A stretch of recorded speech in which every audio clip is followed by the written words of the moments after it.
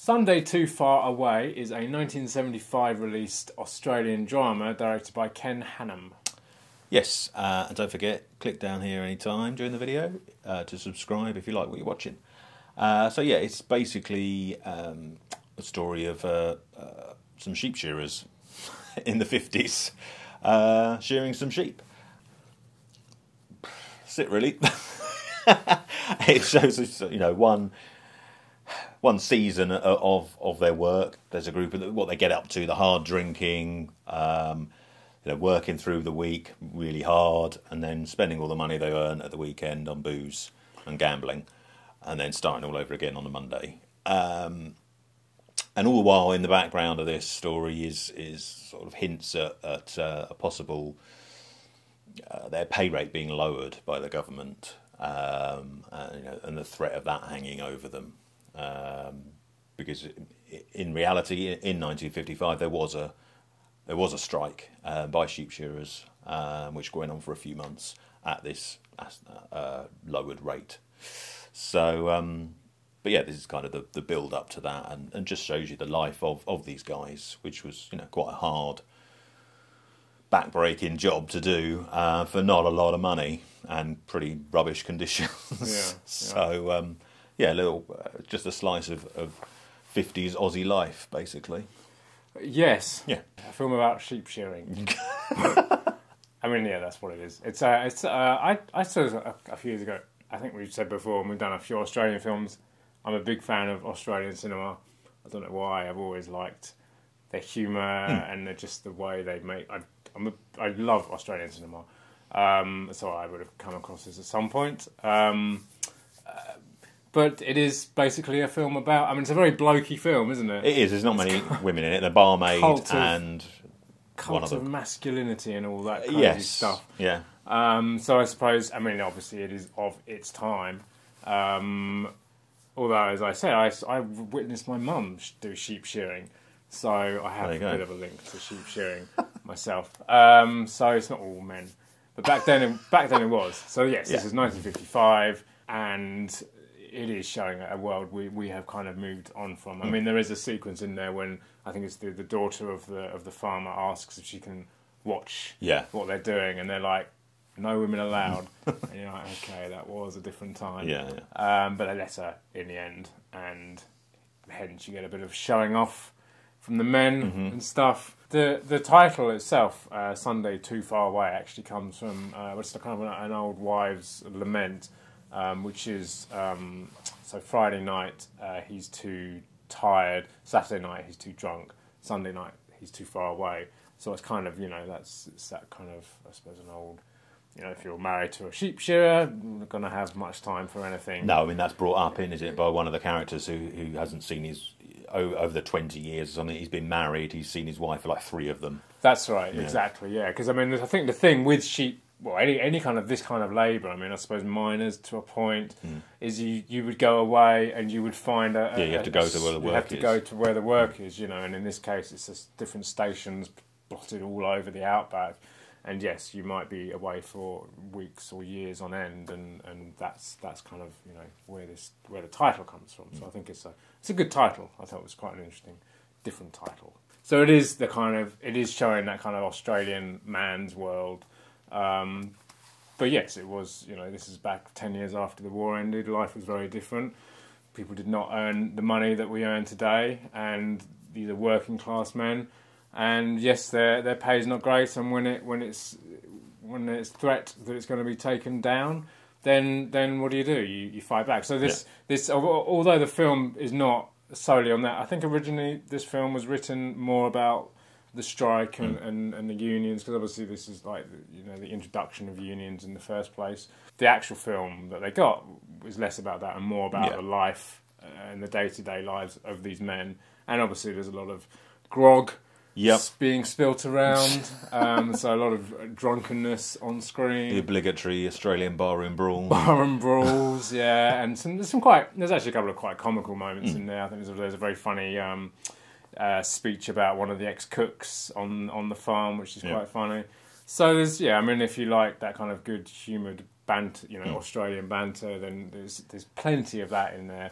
It was actually the first of the um, what's now known as the Australian kind of film rena- renaissance, or the f- Australian New Wave that Mm. came out in the mid '70s. So films like uh, this and Wake in Fright and um, Walkabout and even Mad Max and Mm. things like that. Kind of you know this this huge kind of big. There wasn't really much, although there was Australian cinema before that. There was nothing really grandiose about it. And and suddenly in this in the early seventies, you started to get you know new filmmakers came out and tried you know different daring things and.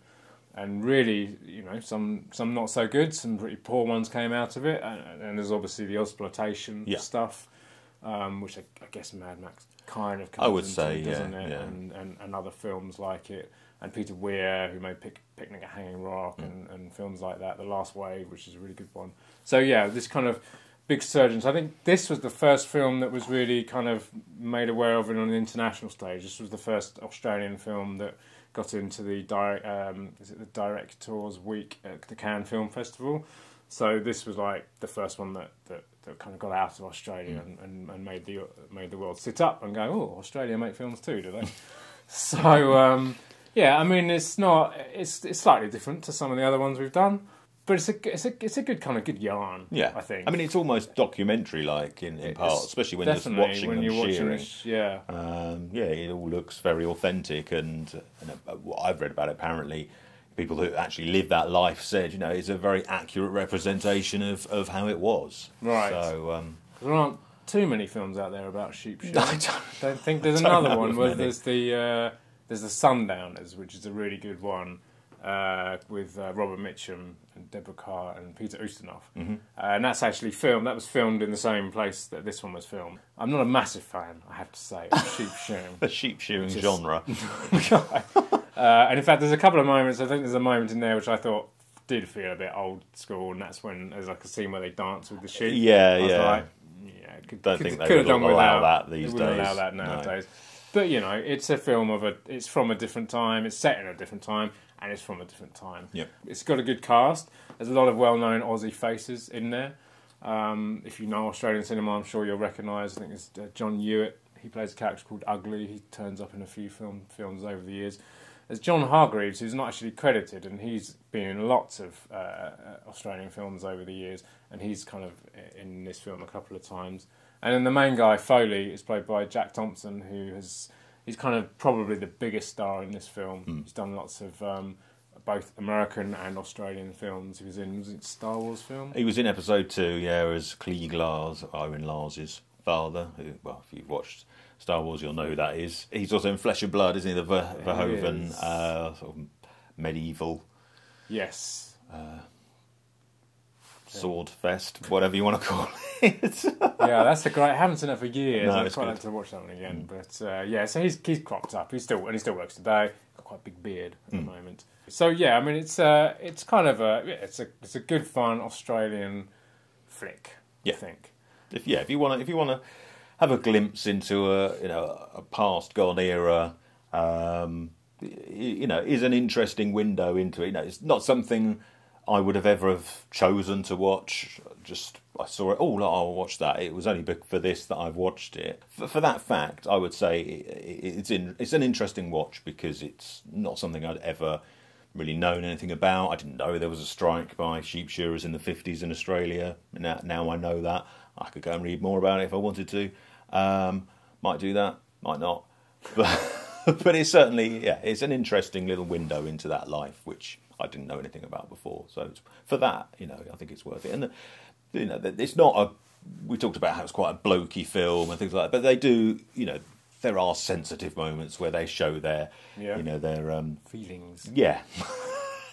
and they, there's some wiggling of naked bums as well. There is, yeah. It's, I mean, actually, one one film. I, there's actually one film I, that I feel this is quite close to, and is actually one of my favourite films, and that's Cool Hand Luke, which is the the, the Paul Newman one set in, in kind of the um, the prison in the, the southern states of America. Um, that's a '60s film, um, but that's obviously predominantly men in that Yeah. film, where there is a woman that, that does come into that as well. But this, I think, this film feels quite a lot like that one because well, I, suppo- I suppose obviously the, the the the male side of it, but also that kind of that dusty outdoorsy Yeah, yeah. feel to it too. Um, and there is, being Australia, there's a lot of kind of shots of nothing, or sunsets and mountains in the distance. And No, I think the- no kangaroos show up. no kangaroos. Disappointingly. No, the um, I quite like the cinematography in Hmm. this. I think you know, I mean, a lot of these films. It's not hard, I suppose, to, to get a nice camera Not panorama really, no, in, in. Australia if you're out in the outback. But uh, you know, the beginning of this scene, I think the very first shot is the sun blazing in the sky, and you get this uh, this this kind of car. So you get Foley, the main character, in his car. He's kind of driving down this this you know out outback road and he's falling asleep at the wheel and then he kind of crashes the car in quite an impressive manner. Um, and yeah that kind of has that that you know that that walkabout kind of feel that you get in that you only get in Australian films really and I suppose in some American.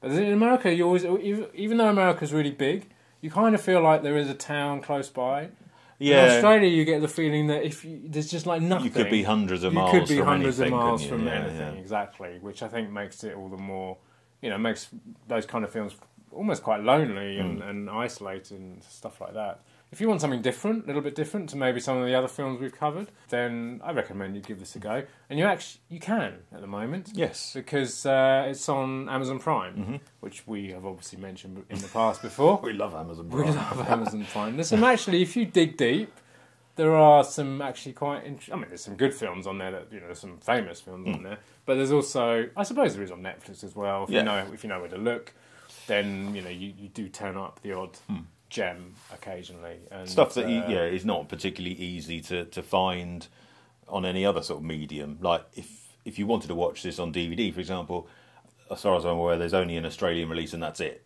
Right, So yeah. you would have to track that down. Um, so yeah, it's quite good for for stuff that isn't shown on TV yeah, exactly. very often, or if ever, uh, and is difficult to find on, on DVD. So yeah, picture isn't great, It's not great, but no. it's not. I wasn't really surprised that it was a bit murky and a bit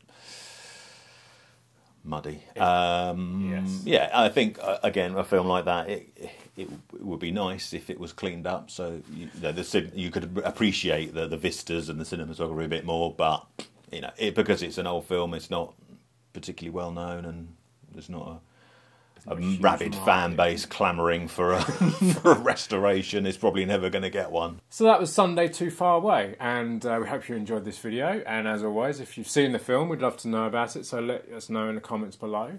Yep, and come on, join us on Twitter and Facebook. Chat about some films over there, and uh, check out some of our other videos. There'll be links somewhere around on this screen and uh, on our channel page. Uh, and join us again next week for another one.